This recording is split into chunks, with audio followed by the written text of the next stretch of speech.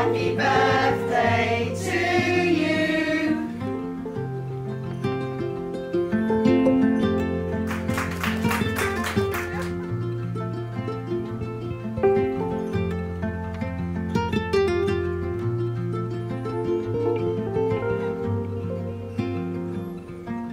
Happy birthday, thank you. What would you say is why you've lived so long, Mum? Oh, God only knows. Part of your family has come to celebrate your your oh, birthday. It's lovely to see them all. I've forgotten them. What, what advice would you give this young man on life? Enjoy your life while you can. Be happy.